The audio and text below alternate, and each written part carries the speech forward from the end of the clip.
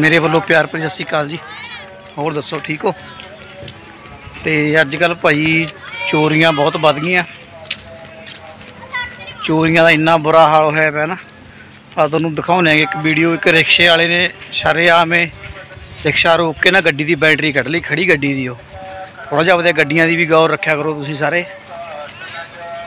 ਤੇ ਗੱਡੀ ਜਦੋਂ ਵੀ ਖੜਾਉਣੀ ਆਪਦੀ ਸੇਫਟੀ ਦੇ ਵਿੱਚ ਖੜਾਇਆ ਕਰੋ। ਜਿੰਨੇ ਵੀ ਮੇਰੇ ਵੀਰ ਗੱਡੀਆਂ ਗੁੱਡੀਆਂ ਰੱਖਦੇ ਨੇਗੇ।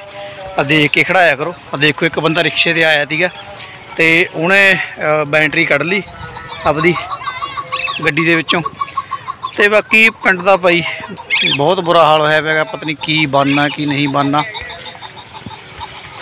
ਗੰਦ ਬਹੁਤ ਆ ਮੜ ਜਾ ਮੀਂਹ ਪੈਂਦਾਗਾ ਬੜਾ ਪਾਣੀ ਆ ਜਾਂਦਾ। ਸਾਰੇ ਸੜਕ ਦੇ ਉੱਪਰ ਪਾਣੀ ਕੱਢ ਜਾਂਦਾ। ਤੁਹਾਨੂੰ ਦਿਖਾਉਂਦੇ ਆਂਗੇ ਅ, ਦੇਖੋ ਵੀਡੀਓ ਦੇ ਵਿੱਚ। ਇੱਕ ਆਹ ਚੀਜ਼ ਦਾ ਹੱਲ ਪਤਾ ਨਹੀਂ ਕਦੋਂ ਹੋਊਗਾ।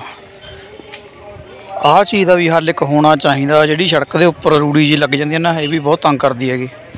ਇਹਦਾ ਵੀ ਹੱਲ ਕੋਈ ਹੋ ਕੱਢਣਾ ਚਾਹੀਦਾਗਾ ਇਹ ਵੀ ਜਗ੍ਹਾ ਕਿਤੇ ਹੋਣੀ ਚਾਹੀਦੀ ਹੈਗੀ ਪੱਕੀ। ਇੱਕ ਆਹ ਪੁਲੀ ਦੀ ਪਤਾ ਨਹੀਂ ਰੱਬ ਕਦੋਂ ਸੁਣੂਗਾ।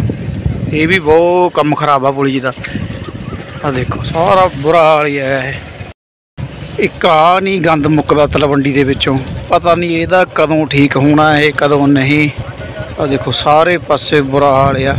ਅੱਜ ਤਾਂ ਮੜ ਜਾ ਠੀਕ ਹੋ ਗਿਆ ਇਹ, ਨਹੀਂ ਤਾਂ ਕੱਲ ਤੇ ਸਵੇਰੇ ਬੜਾ ਬੁਰਾ ਹਾਲ ਸੀਗਾ। ਸਾਰਾ ਪਾਣੀ ਸੜਕ ਦੇ ਉੱਪਰ ਖੜਿਆ ਸੀਗਾ ਇਹ।